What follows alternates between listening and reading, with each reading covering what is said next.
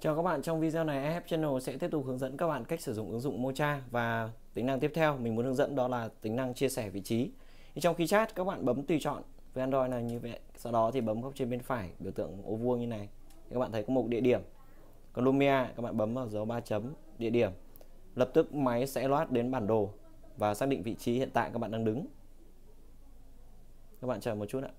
Rồi vị trí đã được xác định thì chữ gửi góc trên bên phải đây sẽ sáng lên, các bạn kích vào để gửi, như vậy là được.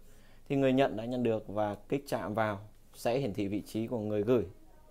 Thì theo mình nghĩ thì ngoài như voice sticker, gửi tin nhắn thoại thì tính năng chia sẻ vị trí cũng rất là tiện ích, nhất là trong những cuộc hẹn hò, phải không ạ?